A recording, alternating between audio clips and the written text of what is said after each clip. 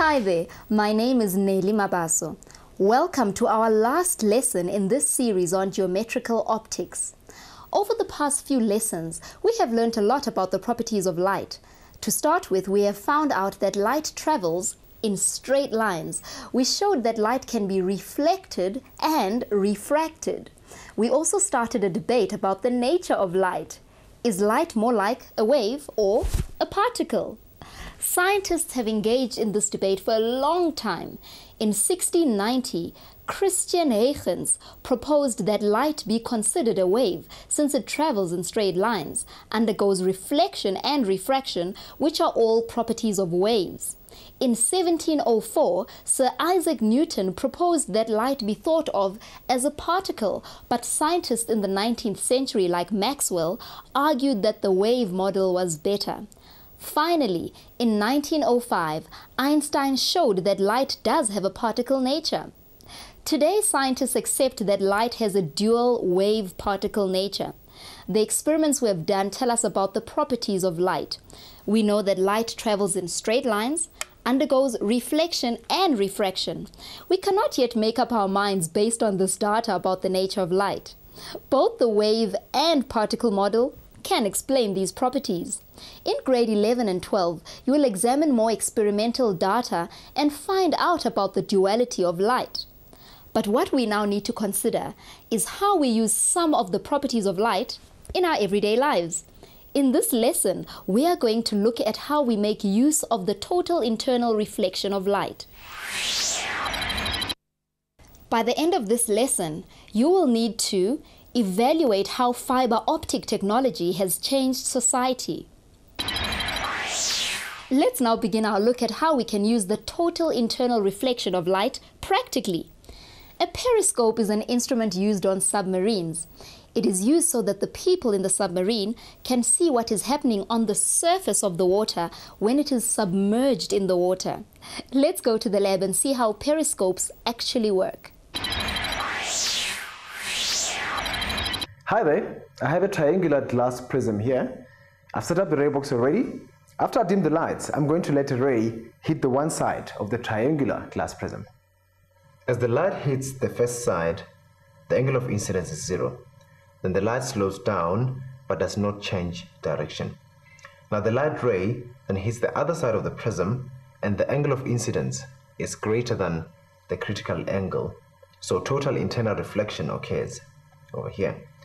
The light then moves to the third side, but again, the angle of incidence is zero, so it moves straight through. And the same thing happens with the light in the second prism. Notice the incident rays at the first prism are parallel to the emergent ray from the second prism. As a result, it's possible to move the light from one place to another and make it easier to see. Let's go back to studio now and draw a ray diagram showing what we've just learned. Thanks, Aaron. Have a look at my ray diagram here. Let's use a boat as the object. Light travels from the boat into the front of the periscope. The light is refracted but does not change direction at this boundary. When the light strikes the back of the prism, it is reflected and moves down the tube of the periscope. At the bottom of the periscope, the light is reflected again, and the observer sees an image of the boat that is the right way up directly in front of the eye. Now you've seen how light can be reflected inside a prism, and you've seen how a periscope operates using two prisms. Now let's see if you can draw a ray diagram to explain how a pair of binoculars works. We are only going to consider one side. I will start you off. Here is the start of the ray diagram, showing how the prisms should be placed. You can see that binoculars work on the same idea as periscopes, but the prisms are arranged differently. Let's see if your diagram looks like this.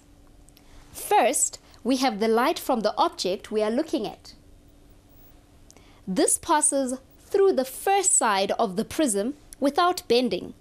As it hits the second side, it is reflected towards the third side.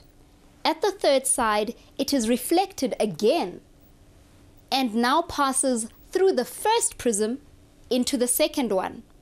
The light passes through the first side of the prism without bending. It is then reflected by the second side. The light then passes through the prism again until it reaches our eye. Binoculars have lenses before the first prism. The function of the lens is to magnify the image of the object. This is the reason why the object always looks bigger in binoculars. There's an even more exciting application of total internal reflection. We use this property of light in fiber optics. Fiber optics are thin tubes of glass. They are only a few tenths of a millimeter in diameter and they are used to carry pulses of light. The glass fiber is covered in a plastic sleeve. The plastic sleeve has a lower optical density than the glass. When a light ray is sent down the inner glass fiber, it will either reflect off the outer surface of the glass or refract back into the glass when it tries to leave the plastic sleeve. The great thing about fiber optics is that these cables can be bent, put around corners, and even buried deep in the ground as cables, and still light will travel down them. We went to the lab and did a simple experiment to see how fiber optics work. We used a large closable box, tinfoil, a funnel, a beaker full of water, and a strong torch. First, we made a hole near the bottom of the box. Then we lined the box with the tin foil. We made the foil as smooth as possible and made sure that it is completely attached to the boxes inside. We also lined the lid of the box. Then we made two holes in the lid. The first hole had to be in the middle for the torch to fit exactly in this hole. The second hole was on the edge of the lid and was just big enough for the funnel to fit through. We put the torch and the funnel into the lid and closed the lid of the box. It is important that no light can escape from the box except from the bottom hole. Okay, we were ready to make it dark so that we could see the effect better. Watch what happened when we put water into the container. We switched on the torch and opened the bottom hole. We could clearly see how the light came out of the box in the water stream. The light from the torch left the box, bending with the water. This is basically how fiber optics bend light inside the cable. Fiber optics has many uses. They can be used instead of copper wires to send electrical signals. The electrical pulses are converted to light pulses at one end. The light pulses are then sent down the fiber optic strand. On the other end of the strand, the light pulses are then changed back into an electrical signal. Because fiber optics are so thin, it is possible to have many together and therefore send many signals together at the same time. An advantage of fiber optics is that light is less likely to be affected by any kind of distortion. Other advantages of fiber optics are that they are so thin. When put together as cables, these cables are thin and very lightweight, especially when compared to copper cables. It is also difficult to tap into the fiber optics, which means they are safer for banks and security companies to use when transmitting information. Even though fiber optic cables are much more expensive than copper cables, they can carry a lot more information over much longer distances, which makes them more economical in the long run. Fiber optics are used in telecommunications. One thin fiber can carry thousands of telephone conversations at the same time. They are also great for high-speed internet connections.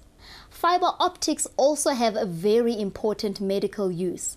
They are used in instruments called endoscopes. Endo means inside and scope means to see. So, in simple terms, endoscopes are used to look inside the human body without causing a lot of damage to the body. Endoscopes are used in the medical community for diagnosis and treatment of all sorts of different medical conditions, from sinus problems to stomach problems. A basic endoscope is made up of bundles of fiber optic strands which are bound together in pipes. There are two sections to the bundles. The first is the bundle that is used for the light source. The second bundle is attached to an eyepiece which the doctors use to see what has been illuminated by the bundle which is the light source. This is just one type of endoscope. There are many different types which are used for different purposes, but they all work on the same principles. When a person is experiencing trouble with their stomach, it would help the doctor if they could see inside their stomach. Endoscopes can be used to do just this. The patient would be given a sedative and then they will swallow a small camera at the end of an endoscope. At this time, it is now possible for the doctor to see on a screen what is happening. If necessary, the doctor would also be able to take a small sample of whatever is in the stomach, which then could be tested. This way, it is much easier for doctors to make a correct diagnosis. In the past, doctors would take much longer to make a correct diagnosis. This means that it would also cost a lot more for the patient who would need to pay for all the extra tests that would need to be done. There are many examples of how endoscopes have made medical procedures much easier. Let's recap some of the advantages of endoscopes. It is easier to make medical diagnosis. It is much easier to see inside the body and it leaves only very small scars. So now we have seen that total internal reflection of light certainly does affect our lives in many ways. So, here's your task for today. Write a report in which you show how fiber optic technology has changed society. This ends our study of light for now. Goodbye.